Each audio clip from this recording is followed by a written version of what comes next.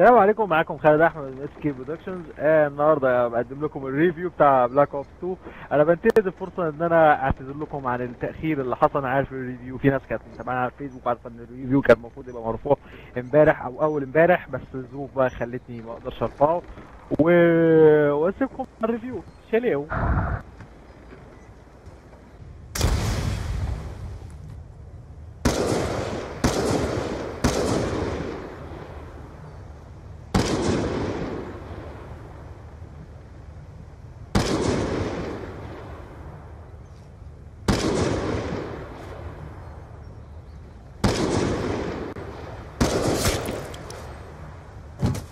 مش هعمل intro زي ما تقولوا 1 minute of history واتكلم عن تاريخ Call of Duty لأن إحنا عارفين اللعبة دي كانت بتمثل إيه الجيل ده. اللي هتكلم عنه Call of Duty مؤخرا. صحيح إن اللعبة دي بينضرب بيها المثال ال milking كما قال الكتاب وإن مفيش فروق جوهرية بين كل جزء وجزء وخاصة Modern Warfare 3 اللي أنا من وجهة نظر الشخصية اللي ممكن يتفق معايا بعض الناس ويختلف برضه معايا ناس كتير جدا إن الجزء ده كان نكبة. سواء قصة مايعة ومسخة وسطحية و multiplayer ما فيهوش أي حاجة جديدة غير glitch ات و spawns بايظه و region lock matchmaking وحاجات كتير توجع الدماغ والقلب والبطن وما علينا. معادنا السنوي في 2012 كان مع Black Ops 2 اللي أقدر أقوله أخيرا جزء جديد من Call of Duty خلى الواحد يبتسم شوية.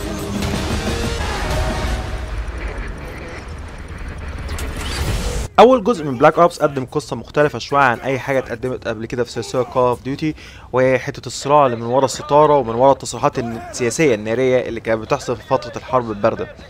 ومع السيناريو سايكو شوية كان فعلا الجزء ده من ناحية القصة كان حلو جدا. Black Ops 2 بتكمل القصة وبداية بقى حرب باردة جديدة بين أمريكا والصين بس في تركيز أكبر هنا على جوانب شخصية. خصوصا إن هو جانب شخصي قايم على الانتقام الخاص بواحد من أخطر الإرهابيين اللي على وش الأرض وهو راؤول مينينديز. قصة اللعبة بتنقلك ما بين فترتين من الوقت في المستقبل في سنة 2025 وفي فترة ما بين السبعينات والثمانينات في أواخر الحرب الباردة. في الماضي هنشوف ناس عرفناهم من أول جزء زي أليكس ميسون وفرانك وودز خصوصا إن الجزء ده من القصة بيتحكي على لسان فرانك وودز. وبيحكي إيه علاقتهم بواحد زي راؤول مينينديز وايه هي الأسباب اللي دفعته إنه في المستقبل يجهز لأكبر هجمة إلكترونية تخلي الجيش ال robots اللي عند أمريكا ما يبقاش تحت السيطرة ويدمر البنية التحتية للتقدم التكنولوجي اللي موجود في الفترة دي. والكلام ده بيتحكي لديفيد ابن أليكس ميسون اللي هو بقى ضابط ال Navy SEALs وهو الشخصية الرئيسية اللي بتلعب بيها في فترة المستقبل. القصة ممكن تكون في الأول بتتقدم بأسلوب غريب شوية وما تبقاش قادر تجمع إيه اللي بيحصل. لأن في محاولة تقديم القصة بنفس الأسلوب السايكو اللي اتعمل في الجزء الأولاني. بس بعد كده بتقدر تجمع كل حاجة. وعموما طريقة النقل ما بين الأحداث بصراحة ممتازة. وخصوصا الأسلوب اللي فرانك وودز بيحكي بيه القصة ممتاز جدا وحلو جدا. اعتبر الأسلوب ده من سرد الأحداث الأفضل في سلسلة Call of Duty عموما. وحاجة كمان بتتقدم في القصة المرة دي وهي جديدة تماما على سلسلة Call of Duty وإحنا تقريبا شفناها لعب كتير قبل كده. وخصوصا إن السلسله زي Call of Duty اتعودنا منها على أسلوب خطي في القصة حتة إن إحنا عندنا أكتر من نهاية. وإن طول القصة بتشوف اختيارات بتأثر بشكل كبير جدا على اللي بيحصل في الآخر. بس في جزئيه الانتقام عموما وتسلسلها من الأحداث يعني شايف إنها ممكن تبقى سخيفة شوية. اللي هو حتة إن مش عشان راؤول مينينديز حصل زي conflict بينه وبين اليكس ميسون في الماضي يبقى لازم ابنه يورث بقيه الصراع ده ويكمله في المستقبل. اللي هو حاجة زي كده كانت ممكن تتقدم بأسلوب أفضل من كده واما مش شرط يبقى ابن اليكس ميسون من أساسه. لو هتيجي تلعب Black Ops 2 هتلاقي حاجة جديدة تماما قدامك وهي زي مثلا فكرة تظبيط ال loadout قبل ما تبتدي تلعب ال mission. وتقريبا هتلاقي نفسك قدام نفس أسلوب تظبيط ال loadout اللي يخص ال multiplayer وهنا في مساحة لاختيار السلاح اللي انت بتفضله وبتحط له بقى ال attachments اللي انت عاوزها ومن غير ما تضطر بقى انك انت تجمع أسلحة من على الأرض وسط اللعب. وبما إن إحنا بنتعامل مع فترتين من الوقت في اللعبة فهنلاقي عندنا اختلاف ملحوظ في ال gameplay ما بين فترة الحرب الباردة والمستقبل فترة الحرب الباردة ممكن نقول إنها بتقدم نفس ال shooter التقليدي اللي اتعودنا عليه في كل أجزاء Call of Duty اللي فاتت. اللي هو اتحرك من point A ل point B واقتل أي حد قدامك. فترة المستقبل صحيح إن إحنا عندنا نفس أسلوب اللعب زي ما هو وزي ما اتعودنا بس طبعا باختلافات الأسلحة وال futuristic attachments والأدوات اللي أنت بتستخدمها. بس في جزئية اتعودنا عليها في أجزاء Call of Duty اللي فاتت وهي الخروج عن نص الأسلوب ده من اللعب. لو على سبيل المثال يخليك مثلا تسوق vehicle المهمات اللي بتحصل في المستقبل فيها النوعية دي من اللعب كتير جدا سواء بقى سواقة عربيات طيارات تحكم في drones مش بس كده. Black Ops 2 بتقدم حاجة جديدة تماما وهي فكرة strike teams الفكرة إن بعد لما بتخلص mission معينة بيتفتح لك mission لل strike team عندك الحرية الكاملة إنك تلعبها أو لأ. بتبقى عبارة عن إنك قدام زي command center ومعاك كذا unit وبتتحكم فيهم وبتوجههم. هتلاقي هنا مساحة كبيرة جدا إنك تجرب معظم ال vehicles وال drones الفكرة في حد ذاتها حلوة جدا وبتدي مرونة للاعب لأن ادائك للمهمات الرئيسية بيأثر على شكل مهمات ال strike teams وال objectives المطلوبه منك. وأدائك لل strike teams برضه بيأثر بشكل كبير على المهمات الرئيسية اللي هتعملها بعدين. بس للأسف مشكلة مهمات ال strike teams هي ال AI نفسه. صحيح Call of Duty عموما بتقدم AI متواضع ومقبول لكن لما تتحكم في ال units من ال command center هتلاقي إن ال AI بتاعهم ضايع. هتضطر إنك أنت تتحكم مباشرة في أي unit وتقوم بالواجب بنفسك. بس بشكل عام حاجة زي ال strike teams والاختيارات اللي بتشوفها طول اللعب بتدي دافع لأي حد إنه يلعب ال campaign كذا مرة بحيث إنه يجرب ويشوف الاختيارات اللي قدامه هتقدم إيه. ده غير إن ال gameplay عامة بيقدم لحظات حلوة جدا بتتفاعل مع القصة وساعات برضه بيبقى فيها تغيير عن أسلوب اللعب المعتاد. لو هنتكلم عن ال multiplayer اللي هو سبب شعبية Call of Duty وهو أساس اللعبة. الأجزاء اللي فاتت من أول Modern Warfare 1 وهي بتقدم ال fast-paced shooter اللي إحنا كلنا اتعودنا عليه بس بدون أي تغييرات ملحوظة. كلها تغييرات ممكن نقول إنها سطحية شوية. إنما Black Ops 2 بقت أخيرا فيها تغيير ملحوظ وكبير. اولا كده الأجزاء اللي فاتت خصوصا Modern Warfare 3 كان ال rushing فيها كتير جدا. هنا ممكن أقول على الرغم من سرعة اللعبة بس ال rushing ما عادش فعال قوي. أول ما هتبتدي تلعب اللعبة هتموت كتير وهتموت كتير قوي كمان.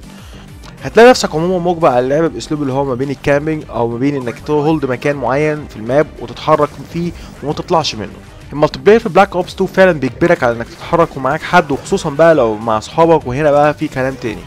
وعلى سيرة ال teamwork نظام ال kill streaks اتغير وبقى score streaks بمعنى إن ال rewards اللي أنت كنت بتاخدها على عدد معين من ال kills بقى على عدد معين من ال score points وده فيه تشجيع إنك تبقى team player وتساعد الناس اللي معاك لأنه ال assist ممكن تفرق أو إنك تبقى objective player وتقعد بقى ت capture points على سبيل المثال أو على حسب ال game اللي أنت بتلعب فيه. تعالوا نشوف مثال عملي. ده game دخلته في أوله وما قتلتش غير اتنين. قعدت أتمشى في ال map ا capture في ال points لحد ما بقى معايا ال orbital VSAT اللي هي خليفة ال Blackbird وخليكم فاكرين ما قتلتش غير اتنين. وجبت orbital VSAT عن طريق capture ال points بس. بالنسبة بقى لنظام ال loadouts وهو كمان اتعرض لتغييرات كتير.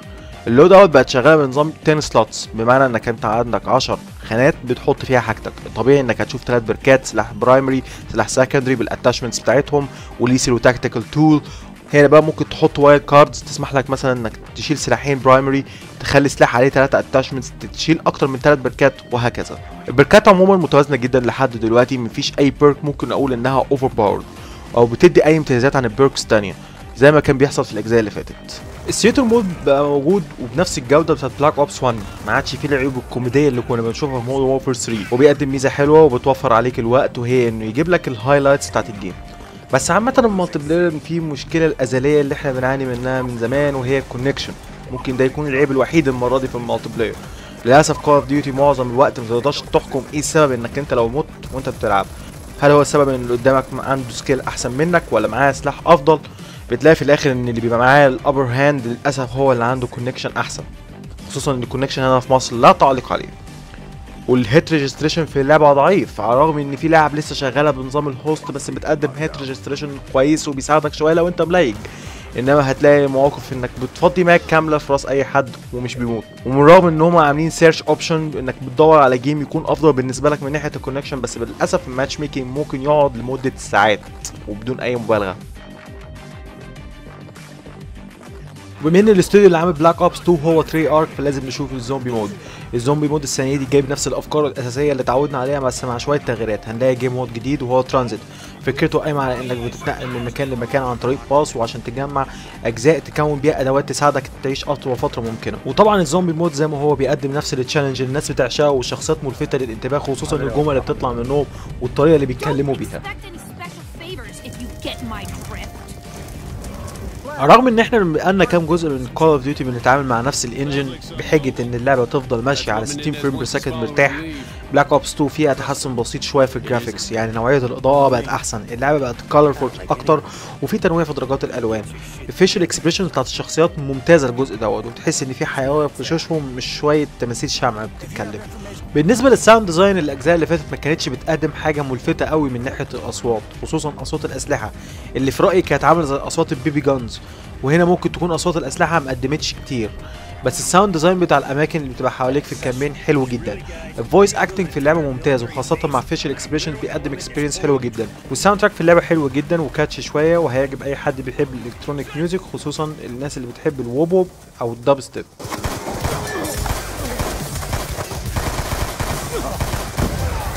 DeFalco has Karma. We're in pursuit.